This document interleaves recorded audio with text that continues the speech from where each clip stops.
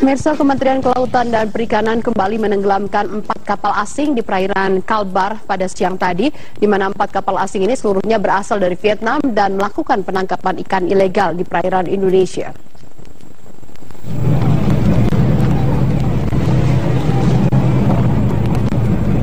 Empat kapal asing ditenggelamkan di perairan Pulau Datok, Kabupaten Mempawah, Kalimantan Barat. Sementara pihak Kementerian Kelautan Perikanan mengatakan ada empat kapal asing lain yang ditenggelamkan di perairan Tarakan, Kalimantan Timur. Proses penenggelaman dilakukan oleh Kopaska Lantamal 12 Pontianak dengan menggunakan dinamit daya ledak rendah agar kapal tidak rusak karena akan dijadikan rumpon. Untuk di Kalimantan Barat, empat kapal yang ditenggelamkan semuanya berasal dari Vietnam. Dua kapal masih hasil tangkapan kapal pengawas KKP dan dua kapal lainnya merupakan tangkapan Pol Air Polda Kalimantan Barat. Kapal asing ini diputus bersalah karena telah melakukan penangkapan ikan di wilayah perairan Indonesia yang tidak memiliki dokumen perizinan dan menggunakan alat tangkap terlarang berupa pukat atau troll. Berdasarkan data KKP selama tahun 2015, ada 2.330 kapal asing dan kapal Indonesia yang ditangkap dan diperiksa karena melanggar hukum. 99 kapal di antaranya sudah ditenggelamkan.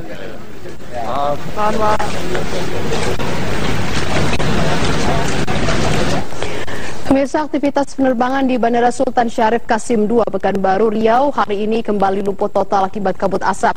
Sementara di Jambi, kabut asap tak hanya melumpuhkan transportasi udara, tapi juga mengganggu transportasi air. Sejak pagi, kabut asap pekat sudah menyelimuti Bandara Sultan Syarif Kasim II. Jarak pandang di landasan pacu atau runway bandara hanya 100 meter saja. Akibatnya, setidaknya 13 jadwal penerbangan dibatalkan hari ini. Untuk menghindari gangguan penerbangan, pesawat harus menunggu kondisi cuaca kembali normal. Hari ini ada 78 jadwal penerbangan yang terpaksa dibatalkan atau dijadwal ulang karena jarak pandang yang tidak memungkinkan. Sementara itu di Jambi, dampak dari kabut asap pekat mulai mengganggu jarak pandang transportasi air di Sungai Batanghari.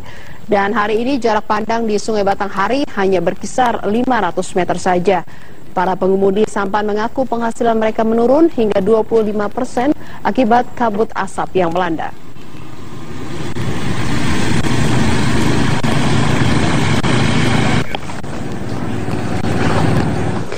Pemirsa, selain mengganggu transportasi di Pekanbaru Riau, ratusan sekolah taman kanak-kanak kembali diliburkan hari ini akibat kabut asap. Sementara di Jambi, petugas keamanan membagikan masker kepada warga secara gratis. Mulai hari ini Dinas Pendidikan Pekanbaru kembali meliburkan kegiatan sekolah, TK, dan PAUD menyusul memburuknya kualitas udara akibat asap kebakaran lahan. Sementara murid SD, SMP, dan SMA tetap belajar, namun jam pelajaran dikurangi dari 3 jam menjadi hanya satu jam. Di kota Jambi, tim gabungan TNI Polri membagikan 4.000 masker gratis kepada warga yang terdampak kabut asap. Kegiatan bagi masker dilakukan di beberapa titik, di mana salah satunya di Jalan Lintas Timur Desa Arab Melayu, Kecamatan Danau Teluk. Pembagian masker gratis ini merupakan bentuk antisipasi petugas terhadap bahaya kabut asap di kota Jambi, yang saat ini berada di atas angka 300 alias level berbahaya.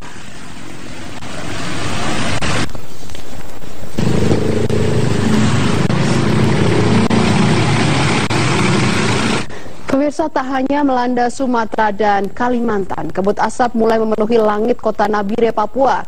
Sementara di Tarakan, Kalimantan Utara, Dinas Pendidikan meliburkan kegiatan sekolah. Di Nabire, Papua, kabut asap mulai terlihat sejak tiga hari lalu. Asap diduga berasal dari sejumlah titik api kebakaran di Kabupaten Merauke. Meski diselimuti kabut, aktivitas warga masih terbilang normal. Bahkan untuk di Bandara Udara Nabire, aktivitas penerbangan masih terpantau normal. Petugas BMKG Nabire menyebutkan status kabut masih dalam ukuran sedang. Dari pantauan satelit BMKG, kabut asap bersumber dari beberapa titik api yang ada di Papua, seperti di Kabupaten Merauke, Fakfak, dan Manokwari.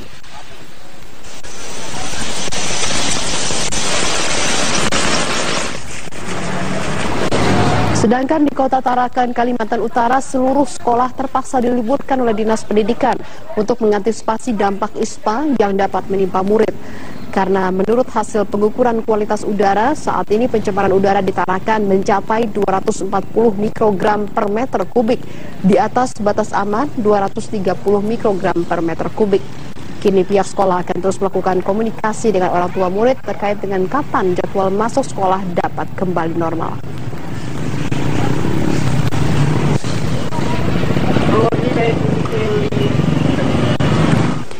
Pemirsa pemerintah Jepang memberikan bantuan untuk penanggulangi kebakaran lahan berupa teknologi cairan ajaib bernama Miracle Foam kepada Badan Nasional Penanggulangan Bencana BNPB untuk membantu proses waterbombing waterbombing maksud saya agar lebih efektif. Terdapat sekitar 20 jerigen cairan ajaib Miracle Foam bantuan dari pemerintah Jepang yang saat ini disimpan di kantor BPBD Sumatera Selatan. Dan rencananya pemerintah Jepang akan memberikan bantuan sebanyak 2 ton cairan ajaib atau Miracle Foam kepada pemerintah Indonesia guna menanggulangi kebakaran lahan yang terjadi di Indonesia. Menurut Kepala BNPB Willem Harapangile, efek langsung cairan ini dapat mematikan kebakaran lahan. Cairan produk Jepang yang terbuat dari bahan khusus dan menimbulkan busa. Saat ini penggunaan cairan Miracle Foam masih dalam proses percobaan. Sejauh ini para pilot BNPB atau pilot pesawat bantuan asing menyatakan cairan ajaib yang dilepaskan pada saat waterbombing dapat dengan cepat membantu menurunkan panas temperatur tanah.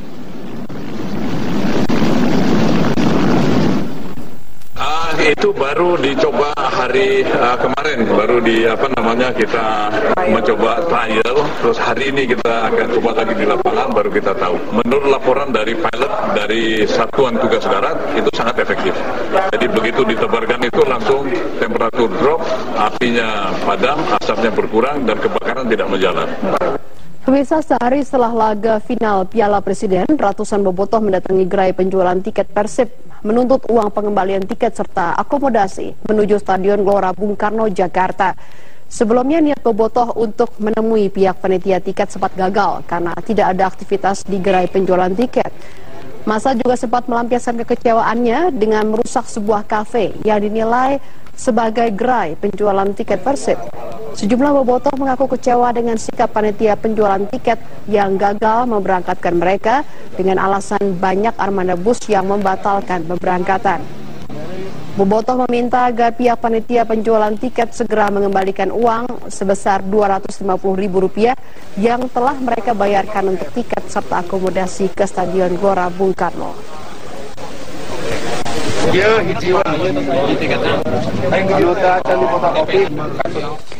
Pemirsa Kapolda Metro Jaya Irjen Pol Tito Karnavian mengakui polisi hingga kini masih memeriksa Sekjen Jackmania karena tim Cyber Polda Metro Jaya menemukan adanya bukti permulaan bahwa pelaku disebut mengetahui aksi anarkis yang akan dilakukan kepada supporter Persib Bandung.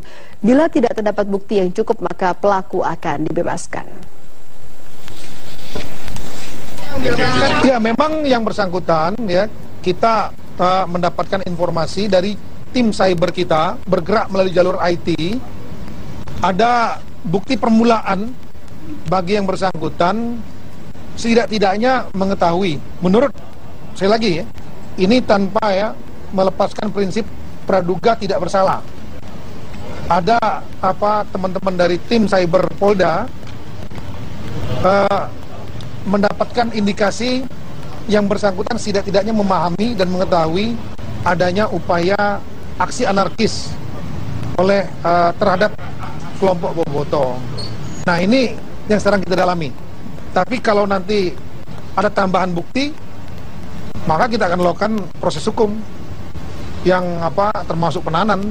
Tapi kalau nanti ternyata tidak terdapat bukti tambahan, satu alat bukti saja, ya kita akan lepaskan nantinya. Kita akan lihat situasinya. Sekali lagi eh, belum kita putuskan sekarang. Sementara itu pemirsa Gubernur DKI Jakarta Basuki Cahayapurnama mengaku hingga kini belum yakin terkait dengan penangkapan Sekjen The Jackmania yang diduga memprovokasi ricuhnya para supporter pada saat laga final Piala Presiden berlangsung. Meski demikian ia mengapresiasi langkah Polda yang mengusut dalang di balik kerusuhan tersebut. apa kalau memang itu betul pertanyaannya apa betul dia sekjen Jackmania emangnya ada notarisnya Jackmania ada akte yayasan ada pemilihan ketua ada pemilihan sekretaris pernah nggak kamu dengan pemilihan sekjen? Nggak juga kan? Tentang Jackmania yang jadi bikin rusuh apa segala macam tanggapannya? Harus tindak tegas. Seperti orang tua sama anak saja. Kalau anak kita nakal kita peringatin nggak mau ya dihukum. Ya bukan berarti kita nggak sayang anak. Hukum dia rotanin dia tuh demi supaya dia baik sayang